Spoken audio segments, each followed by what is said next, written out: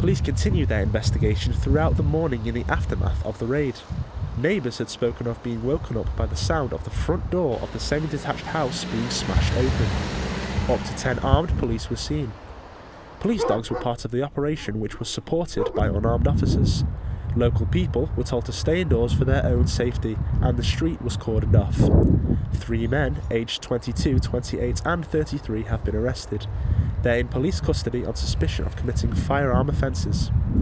Neighbours told me they weren't surprised by the police activity, but they were surprised to learn that guns might have been involved. Danny Lavalette, Staffs Live.